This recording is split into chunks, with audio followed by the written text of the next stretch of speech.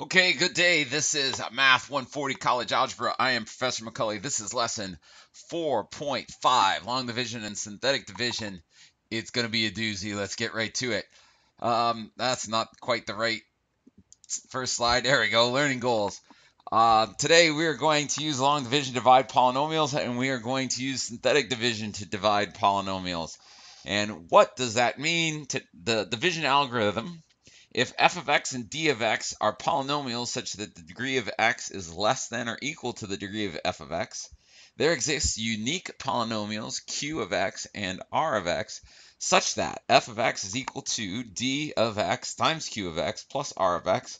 And then if that r of x is equal to 0, then d is said to divide f. Whoa, that seems awful complex, but it makes a whole lot of sense if we think about it in the context of numerical values. Now, let's go back to third grade when you learned how to do long division the first time.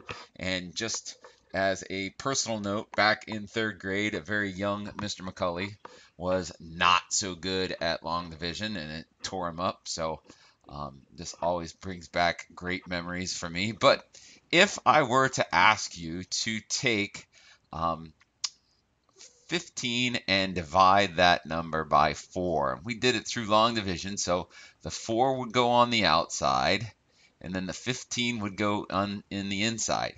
Now, this 4 right here, well, let's just do the division first. So does 4 go into 1? No, it doesn't. Does 4 go into 15? Yes, it does. 4 goes into 15 three times, and then 4 times 3 is 12. And when we subtract that, we get a 3 left over, and that becomes our remainder. Now, I don't expect you to remember all of these, but when you do a division, that is a quotient. This thing right here is called the dividend. And this thing right here is called the divisor. Now, we know that if I went um, 3 times 4 and then added the remainder, I should get 15. Or if I went 15, that thing is equal to that divisor 4 times the quotient 3 plus the remainder 3 if this is my d of x, if this is my q of x, and this is my r of x, and this is just f of x, we have f of x equals d of x times q of x plus r of x, just like we have right there. So it makes good sense in the context of something concrete that you've seen before. And so it, I hope that that makes this a little bit more understandable.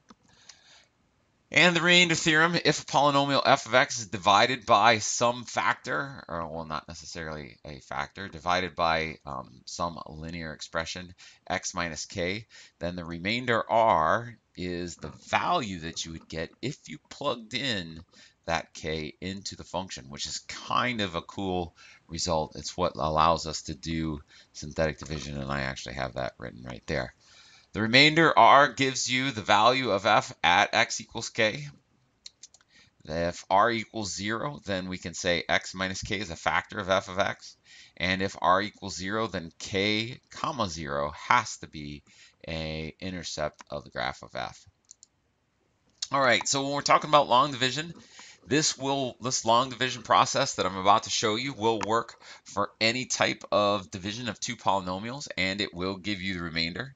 Synthetic division is the one that you'll like and will use it more often, but it can only be used when the divisor is a linear factor. And so if something is if your divisor is something other than linear, you have to use long division, but most of the times our divisors will be linear factors our linear expressions.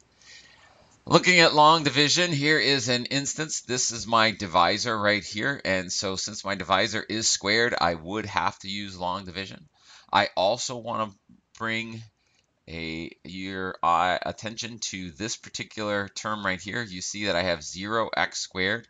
This is a placeholder, and anytime you're missing a term, I would suggest that you put a placeholder 0 in there for it.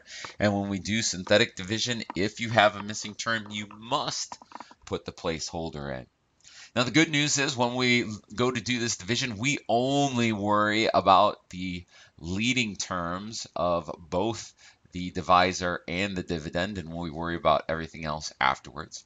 And we're going to do this until the result is uh, his degree is less than this thing. So since this is an x squared divisor, when the result that's left is linear, we know that we will be done. So I look at this x squared and I ask myself, what times x squared is 3x to the fifth?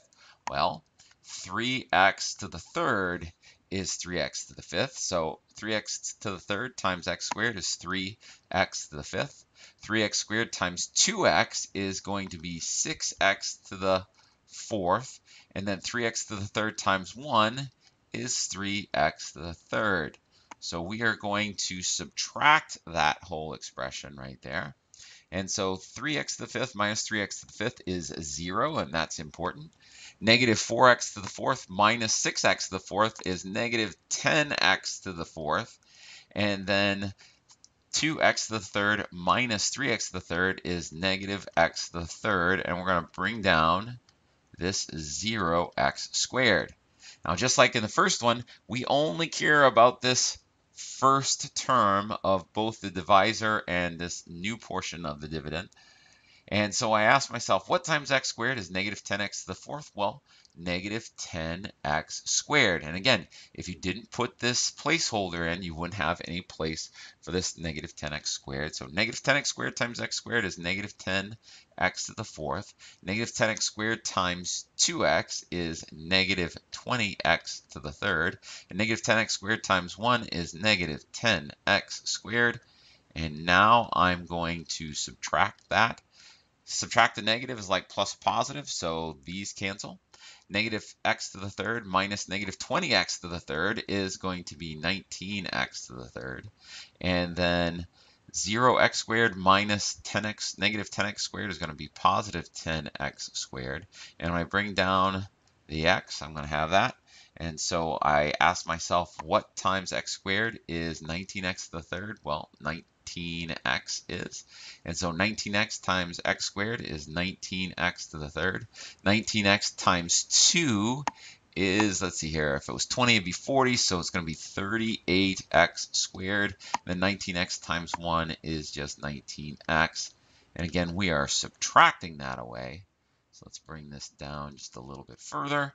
And those first two terms cancel. I've got negative 28x squared. And then I subtract these two. That'll give me negative 18x. And then I bring down my negative 1. And I'll have to multiply by negative 28. That'll give me negative 28x squared. That'll give me negative, let's see here, 2 times 28, 2 times 30 would be 60 minus 4. Um, 60 minus uh, 56. Yeah. X and then negative 28. And when I subtract that away, these first two cancel. And this one becomes a positive, so positive 56 and 18. Let's see here, if I, uh, that'll give me 46, and then 8 more will give me 38. Yeah.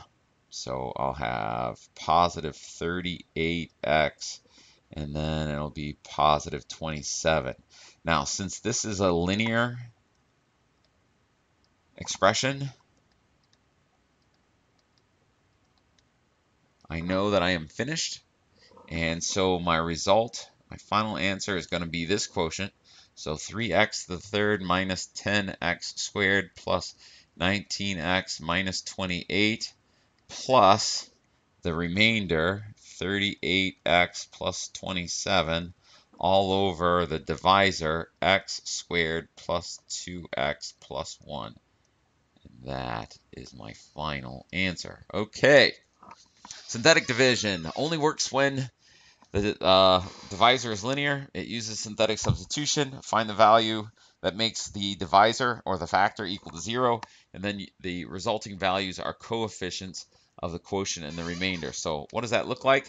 So if they ask me to divide x to the fourth minus 3x squared plus 6x plus 5, and they want me to divide by x plus 2, well, what I'm going to do is I'm going to write the coefficients of this uh, divide, uh, dividend here. And so the x to the fourth has a coefficient of 1. And you'll notice that there is no x to the third term. So I need a 0 for this x to the third term. Right? And then I have negative 3 for the x squared. I have 6 for the x. And then I have a 5. And then what I'm going to do is I'm going to put a little box here. And I'm going to ask myself, what makes this 0. And so negative 2 plus 2 is 0. So I'm going to put a negative 2 there. I'm going to put what makes this 0 goes in the box. All right. So what I'm going to do is I'm going to bring down this 1. 1 times negative 2 is negative 2. 0 and negative 2 is negative 2. Negative 2 times negative 2 is 4. 4 and 3, negative 3. 4 and negative 3 is 1. 1 times negative 2 is negative 2. Negative 2 and 8 is 4. 4 times negative 2 is negative 8. I think I said that wrong. So let me go over this again. 1 times negative 2 is negative 2, plus 0 is negative 2. Negative 2 times negative 2 is 4, plus negative 3 is 1. 1 times negative 2 is negative 2, plus 6 is 4. 4 times negative 2 is negative 8. Negative 8 and 5 is negative 3. All right, so these here are the coefficients. And since I took x to the fourth and divided by x to the first, just like in this, well, this in this last one, you'll notice I started with x to the fifth and I divided by x squared. The result was x to the third. 5 minus 2 is 3. In this particular one, I'm going x to the fourth minus x to the first. 1 mi or 4 minus 1 will give me for my final answer 1x to the third minus 2x squared plus x plus 4 plus negative 3 over x plus 2. Or what we could do is we could get rid of this plus, yeah, the 3 there, and make it 4 minus that fraction right there. and Have that. Well, that's all I got for today, folks. Today's Marvel fun fact of the day in Spider-Man Homecoming, we see Tony Stark hitting on Aunt May. Ooh, this is not the first time Robert Downey Jr. and Marisa Tomei have had on-screen romances. They also played together in Chaplin and back in way back in 1992, and were together in Only You back in 1994, and were often romantically linked for a while in the 1990s, way back in the day. Look how young Mr. RDJ looks in that picture. That's all I got. Have a good day. Bye.